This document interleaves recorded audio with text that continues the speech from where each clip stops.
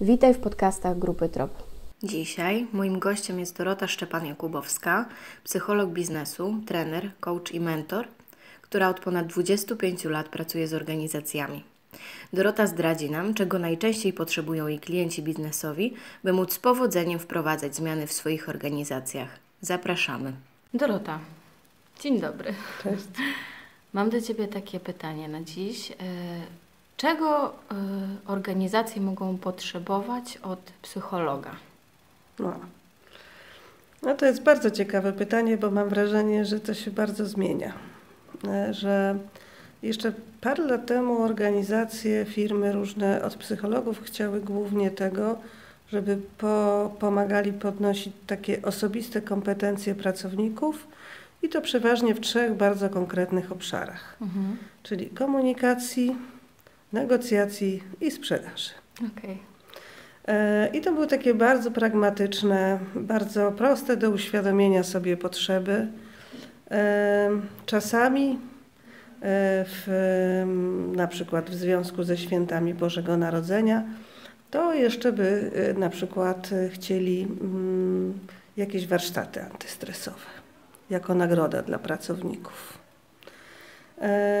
Trochę mnie to frustrowało, bo myślę, że to jest mały kawałek tego, czego, w jaki sposób można skorzystać z wiedzy psychologicznej.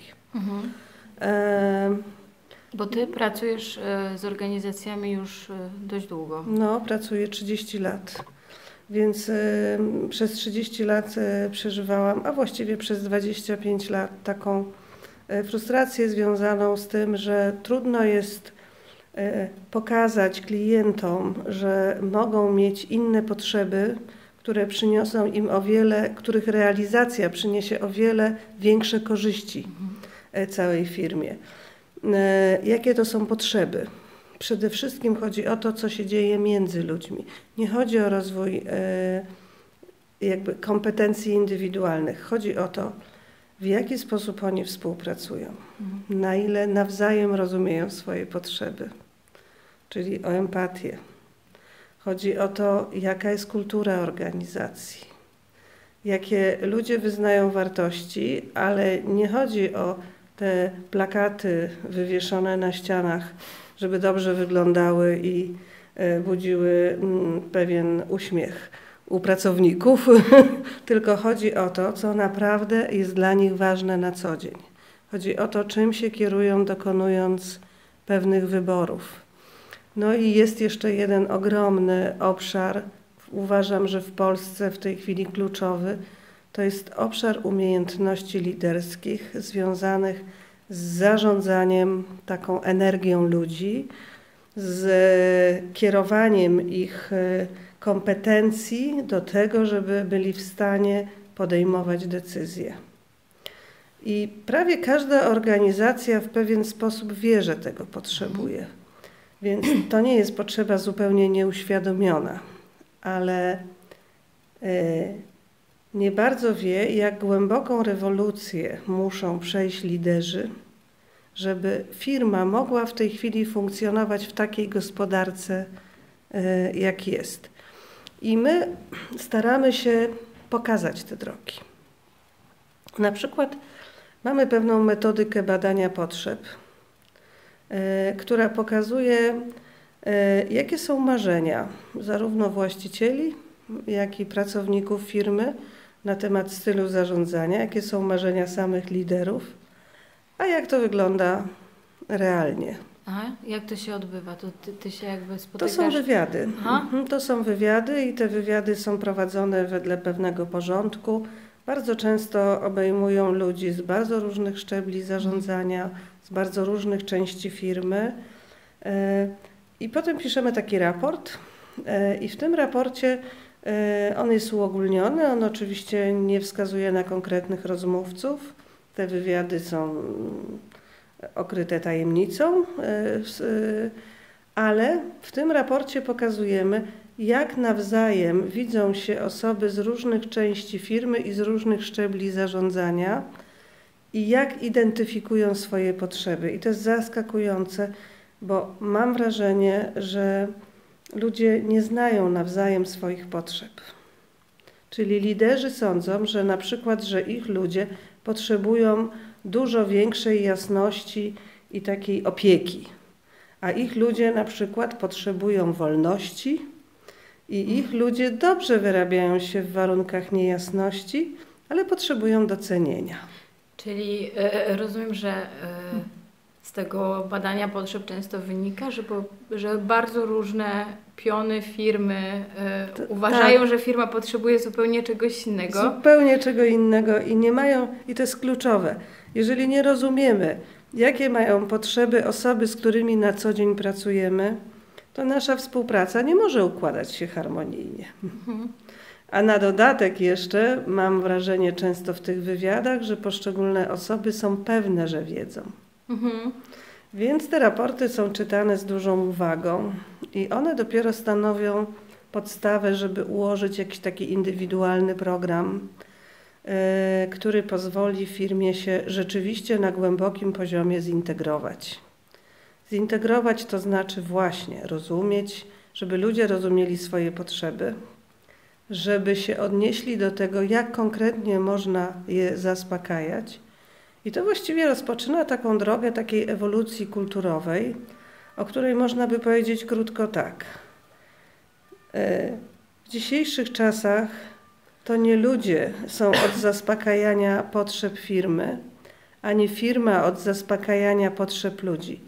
W pewnym sensie to musi być harmonijny proces, czyli ludzie zaspokajając swoje potrzeby, działają na rzecz firmy. Firmy.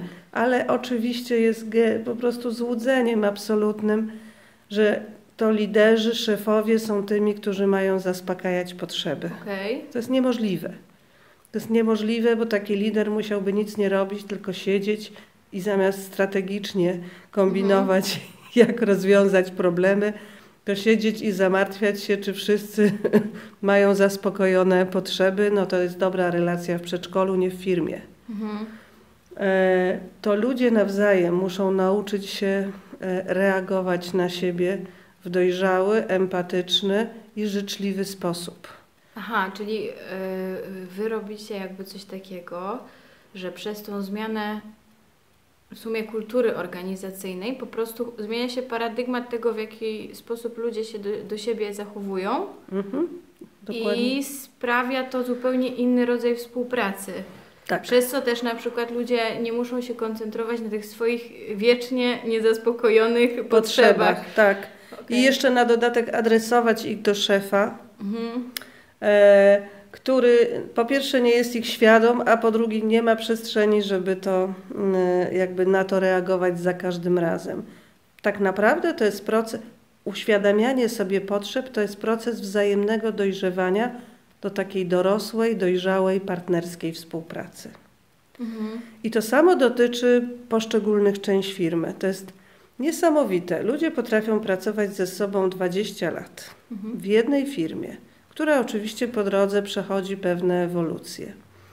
I kiedy ja ich pytam, opisz mi, e, jak na przykład pracujesz dział, z którym w tej chwili masz konflikty, to on to potrafi zrobić na poziomie oceny, ale nie potrafi tego zrobić na poziomie opisowym To znaczy? po prostu nie wie, co oni robią. Nie wie. W związku z tym nie wie, skąd biorą się różne bariery we współpracy, nie wie, jakie oni mają potrzeby, na które on nie odpowiada. Mhm. Podobnie jak ta druga strona też nie wie. Ale w jakim sensie mówisz oceny? No na przykład oni są leniwi. Aha, o, o to chodzi. Oni, e, my tu ciężko pracujemy, a oni się obijają z kąta w kąt i przekładają papiery bez sensu. Czyli to jest jego interpretacja zachowania tak. i brak danych. Dokładnie, brak Okej. danych i nieświadomość potrzeb. Mhm. Jeżeli osoba z księgowości potrzebuje na przykład dane na jakiś tam dzień, to dla mm, kogoś, kto pracuje w sprzedaży, to jest po prostu fanaberia. To oni są sztywni, oni nie rozumieją realiów pracy z klientami. Jak ktoś pójdzie na tydzień, popracować w księgowości, pomóc przekładać te papiery i widzi, jak ogromne napięcie jest pod koniec miesiąca, kiedy trzeba dopiąć wszystkie finansowe sprawy, to zaczyna sobie uświadamiać, że to nie jest fanaberia, to jest y, istota pracy tego, tej części y, firmy, która na przykład przygotowuje sprawozdania finansowe do różnych instytucji kontrolujących. I po prostu musi je złożyć. I to zrozumienie oczywiście nie załatwia wszystkich spraw, ale rzuca zupełnie inne światło e, na e, pojawiające się trudności, bo zawsze rozumienie wzajemne potrzeb pozwala dużo głębiej zrozumieć, co się dzieje, a nie interpretować to jako działania, które są złośliwie nakierowane przeciwko mnie. Więc głębokie zrozumienie potrzeb i to badanie potrzeb i potem podejmowanie różnych działań, które pozwalają e, ludziom się zrozumieć, powoduje, że firma się harmonizuje. I czasami nie potrzeba jakichś organizacyjnych wielkich ruchów. Potrzeba po prostu świadomości potrzeb. Mhm. Potrzeba potrze świadomości potrzeb. To jest y, y, niezwykłe. Jak koncentrując się na zadaniu, tracimy z pola widzenia to, że inni y, są od nas zależni. Mhm. Jeszcze mam takie pytanie. Ono mnie też ciekawi, bo mówimy w tej chwili o koncentrowaniu się też na potrzebach innych. A ja i z mojego doświadczenia i w szkole trenerów e, często jest tak, że my sami e, no nie do końca czasami uświadamiamy sobie swoje potrzeby, to znaczy, wiesz, e, może inaczej, e, że nie, że nie uświadamiamy, a jednak patrzymy na ten czubek góry lodowej. Czy swojego doświadczenia ludzie e, w ogóle widzą, czego naprawdę im potrzeba w tej na przykład relacji e, z szefem. E, czy to też jest obszar do pracy z Twojego doświadczenia? To jest pytanie paradoksalne.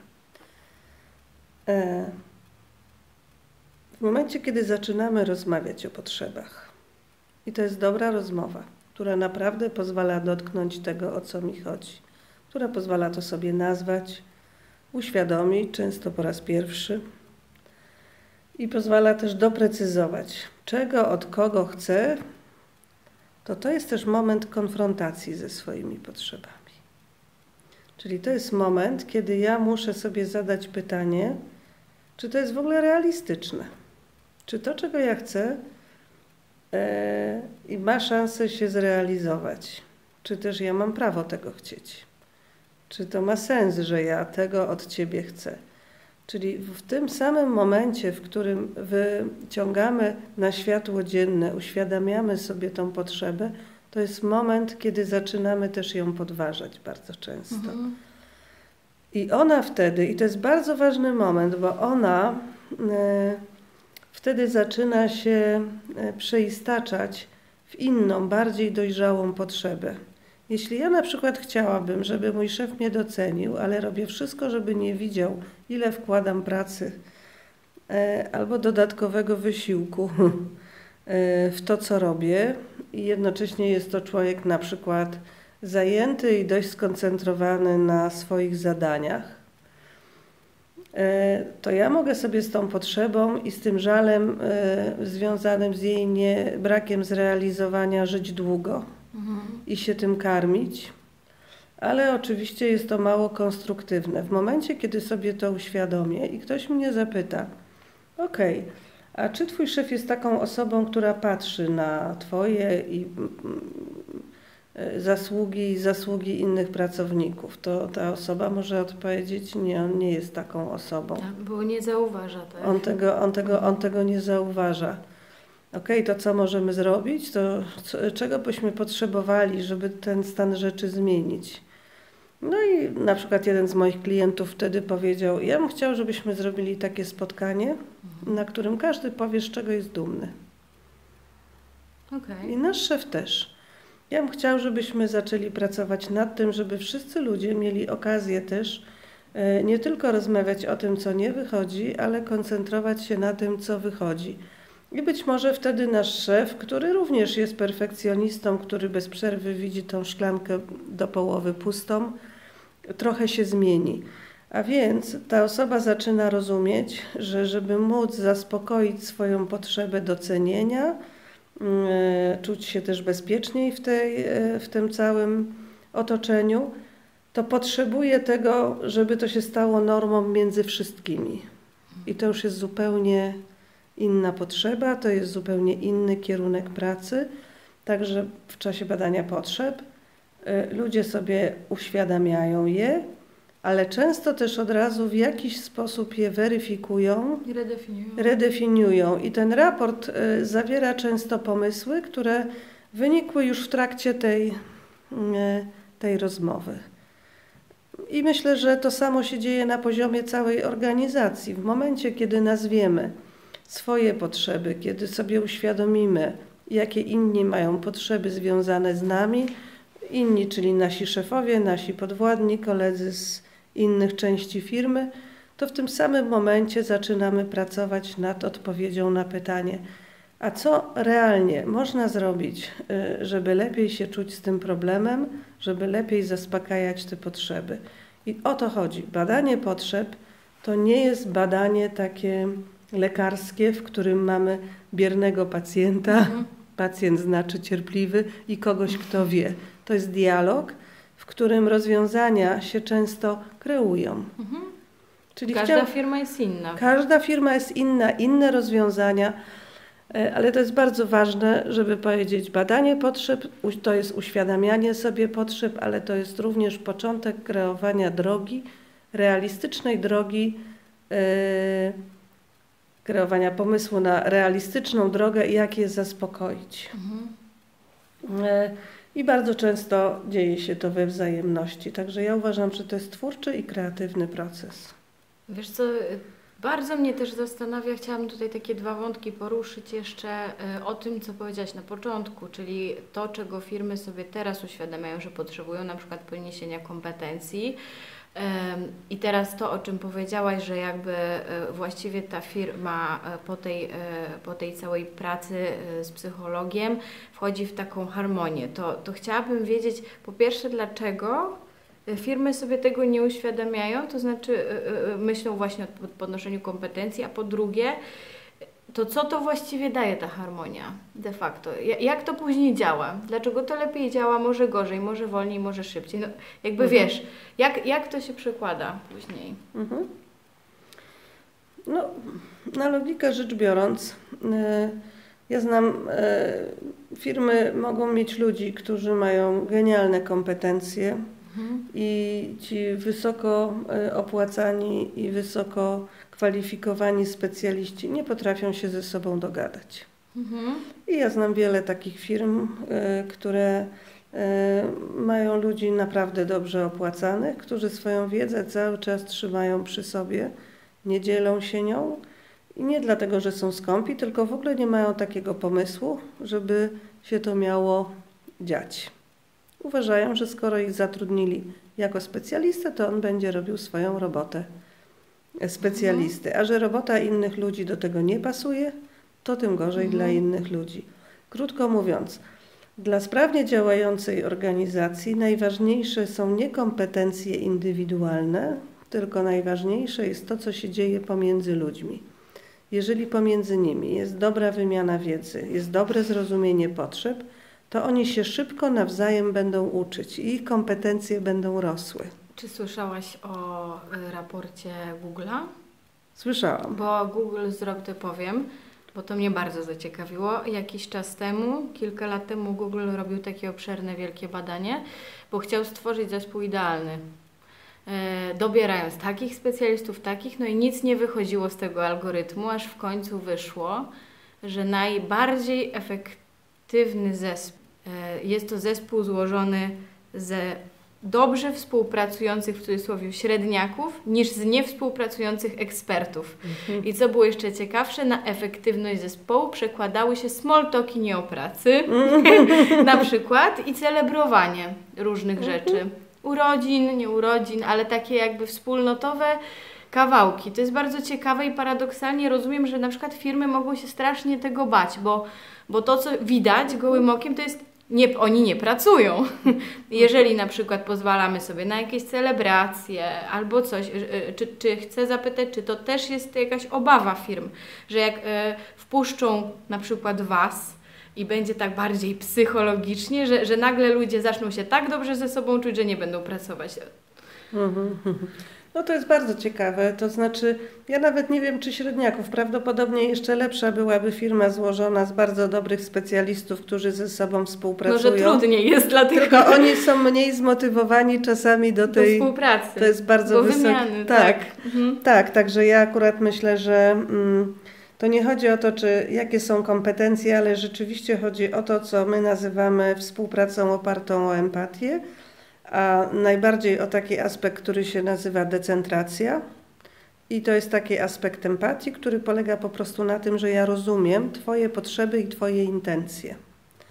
Ale również rozumiem potrzeby i intencje ludzi, którzy mają inny charakter pracy, pracują w innych częściach firmy, albo wyżej, albo niżej w hierarchii. Wszystko jedno. E, I e, generalnie dużych zmian albo odkryć, albo e, skutecznych działań już się nie robi w pojedynkę. To nie jest ten typ gospodarki, to jest niemożliwe.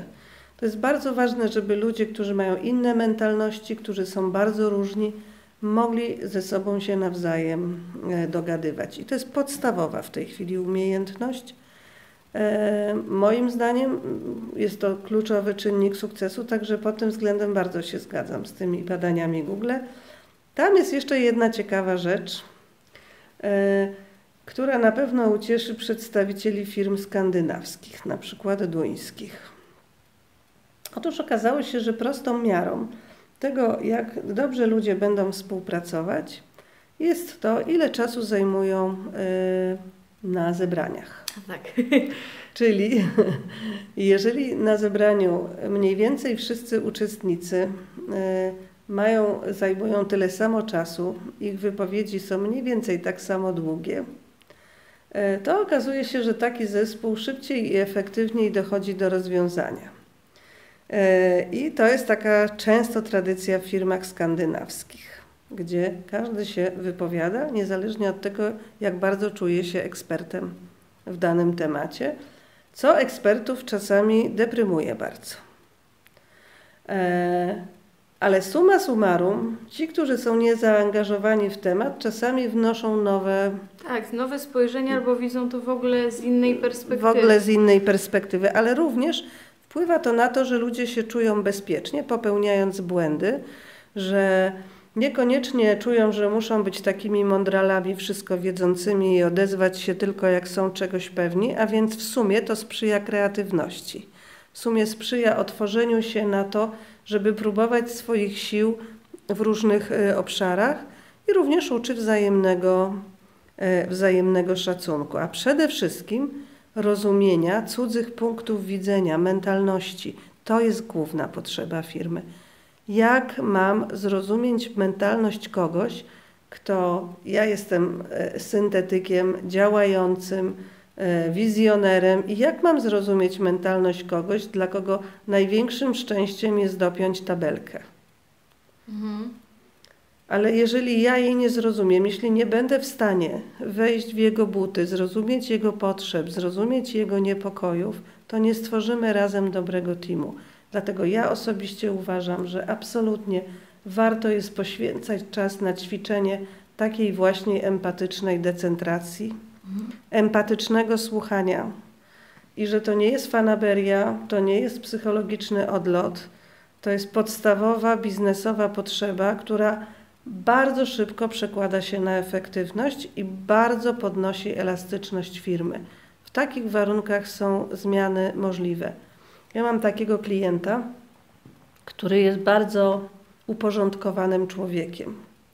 Kiedy powiedziałam mu, że zrobimy badanie potrzeb, a potem mu zaproponujemy jakieś podejście, jakieś rozwiązania, bo na razie to jeszcze nie wiemy, jakie są potrzeby i właściwie na co mamy odpowiedzieć, to on powiedział, że przecież on zna potrzeby swojej firmy. firmy.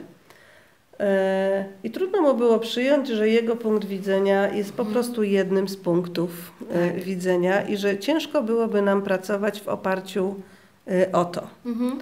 e, ponieważ ludzie uważaliby nas po prostu za takie sprytniejsze e, ramię prezesa, które próbuje mm, wpłynąć na nich, manipulować nimi i nie identyfikowaliby się z tymi celami, więc to nie ma sensu. E, ale on był bardzo mm, uważnym słuchaczem, więc rozumiał te argumenty i zgodził się na badanie potrzeb. I dowiedział się z tego badania potrzeb, że ludzie potrzebują różnych rzeczy, których on nie miał najmniejszego zamiaru im dawać. Okej. Okay. on na przykład niezmiernie cenił porządek i dyscyplinę, a oni chcieli wolności, e, wolności więcej osób, kreatywności. Oni chcieli wiedzieć, e, oni chcieli, żeby mm, ich bardzo doceniać, a on uważał, że za robotę dobrą się nie chwali. Znaczy, że e, jak jest dobrze, to się nic nie mówi. To się nic nie mówi. E, no ale dostał raport, w którym, e, który odzwierciedlał potrzeby ludzi z bardzo różnych szczebli organizacji i jak on to przeczytał, to powiedział tak, a mnie to by ktoś pochwalił? Hmm. E, ja miałam wrażenie, że jak on to czyta, to zaczyna rozumieć ich potrzebę i odnosić ją do siebie. I zaczyna rozumieć też swoje osamotnienie w tym mhm. takim bardzo e, twardym zarządzaniu. No e, I oczywiście również obawy, na przykład, że się rozlezą po kątach i nic nie będą robić, albo że w organizację wda się bałagan. Ale jak on nazwał te obawy, to okazało się, że wiele osób ma bardzo podobne obawy, ale z drugiej strony, że jeżeli na przykład menedżerowie chcą wszystko kontrolować wzorem prezesa, mhm E, to w pewnym momencie popadają w złudzenie, że to kontrolują, a kontrolują jakiś niewielki aspekt funkcjonowania organizacji. I ludzie zaczynają myśleć, że nikt tak naprawdę nie ogarnia, co tu się dzieje. Bo to drugie życie jest takie bogate, ta komunikacja, która się odbywa e, w palarni papierosów, mm, no te wyniki, które są e, tworzone na papierze, i ludzie zaczęli myśleć, to jest bez sensu, ponieważ wszyscy się skupiają na kontroli, a my wiemy, jak łatwo tą kontrolę jest wyprowadzić y, w pole. No Więc właśnie, w sumie nikt tego interesu nie pilnuje. Nie wiesz, co zastanawia jeszcze, bo tak. często jest tak, że e, firma, e, nie wiem, tak myślę, mhm. ale tak słyszałam, że E, firmy obawiają się tego właśnie, że tych small talków będzie więcej, wiesz, kiedy ludzie się bardziej ze sobą, ale tak sobie myślę, że przecież jeżeli jest, jeżeli są trudne emocje, to się tworzą silosy, to się tworzą um, jakieś takie um, relacyjne, dziwne rzeczy i, i tak ludzie pewnie właśnie w tej palarni bardzo dużo energii poświęcają na rozkminianie, co ten nasz szef miał na myśli, albo czy, czy to, że się na mnie spojrzał, to co to znaczy. Jakby, że sobie myślę, że paradoksalnie brak komunikacji sprawia, że tej takiej. Mm, nie chcę powiedzieć no bezsensownej, nie mogę znaleźć lepszego słowa, ale takiego właśnie do, do, dogadywania się jest tego więcej. Czy, czy to, to jest e, też e, zgodne z Twoim doświadczeniem? Ja myślę, że z tymi smoltokami to jest takie uproszczenie, bo oczywiście jeśli ludzie siedzą i e, opowiadają sobie nawzajem plotki, to ja jakoś nie widzę e, głębokiego sensu takiego działania w pracy. E, jeżeli e, to pochłania ich energię. Więc oczywiście, jeżeli na dodatek opowiadają sobie plotki, e, nastawiając się nawzajem na jakąś konkretną osobę, mhm no to raczej nie powiedziałabym, że to jest takie szalenie integrujące. Ale jednocześnie jest tak, że ludzie chcą w firmie pracować jako osoby, a nie jako personel. Tak, albo numerek, e, kierownik, albo, numer. Tak, i, wie, i wielu ludzi chce mieć taką przestrzeń, żeby zaistnieć jako osoba. I to bardzo od firmy zależy, na ile taką przestrzeń może tworzyć. Może tworzyć to w taki sposób, że nie zajmuje się wyliczaniem co do pięciu minut, mhm. E, co ty robisz. I oni, ludzie sobie sami to tymi smoltokami wypełnią w jakimś stopniu, ale również na przykład tworząc przestrzeń do tak angażującej e, emocjonalnie, takiej frapującej pracy, że mi się po prostu nie chce jej przerywać. czyli do takiego realnego zaangażowania. E, I tutaj ja sobie myślę, że te smoltoki są super, jeżeli wszyscy czują, że są na takiej drodze, że żeby móc robić rzeczy, które odpowiadają ich poziomowi rozwoju. I wtedy oni to wykorzystują bardzo efektywnie. Więc w sumie uważam, że adekwatna ilość smoltoków jest oznaką, że firma jest dobrze zarządzana. Mhm. Że to nie chodzi o to, żeby specjalnie odpuścić, tylko ludzie wtedy e, pracują w takim swoim rytmie, że się bardzo angażują i czasami muszą e, odpaść. Tak. No ale mm, e, jeżeli to jest tak, że w firmie jest bardzo dużo napięcia, to ja raczej dążyłabym do tego, żeby w miejsce tak zwanych smoltoków, czyli po prostu plotkowania po kątach, e, doprowadzić do tego, żeby ta komunikacja była otwarta, wspólna, e, żeby to mówili oficjalnie, brali odpowiedzialność za to, co mówią. No bo wtedy ma to szansę rozwiązania. Bo tak? wtedy, tak, możemy, wtedy naprawdę rozumiemy ich potrzeby, i możemy szukać konkretnych y, rozwiązań. A bicie piany po kątach y, zabiera mm, y, energię. Czyli powiedziałabym tak, ze smoltokami to zależy. Okay. Jak jest dobra atmosfera i dobry podział pracy i dobre szanse rozwojowe, to ludzie sami sobie ilość tych smoltoków regulują. Jak jest zła atmosfera, no to należy dążyć do tego, żeby wyprowadzić na powierzchnię to, co stanowi tajemnicę Poliszynela. Myślę, że będziemy powoli lądować. Tak e, podsumowując, e, jakoś tak dźwięczy mi w głowie hasło, teraz mamy e, rok 2020 pod hasłem Świadomy 2020. I tak jak o tym opowiadałaś, to też jest dla mnie kawałek e, w ogóle świadomości tego, co się dzieje między nami, co się dzieje w naszej firmie, jakie są potrzeby moje, jakie są potrzeby innych ludzi. I tak e, mocno jest to dla mnie związane z decyzją po prostu, że kiedy, kiedy mam większy ogląd na sprawę, kiedy mhm. mam większą świadomość, tak. mogę zdecydować. Mhm. Co? Czy ty też e, widzisz to w ten sposób? Tak. Ja myślę, że potrzeby e, związane z, nazwijmy to, budowaniem kultury otwartej komunikacji czy empatycznej, powinno się badać co jakiś czas.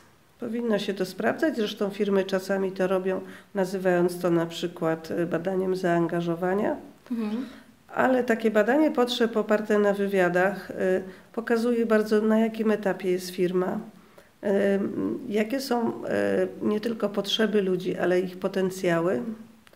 E, I tak, myślę, że warto mieć świadomość i nie zdawać się na swoje domysły, bo te domysły bardzo często e, odzwierciedlają mój punkt widzenia, moje miejsce siedzenia, nie odzwierciedlają tego, jak się układa, jak się układają relacje w całej firmie, w poszczególnych jej częściach,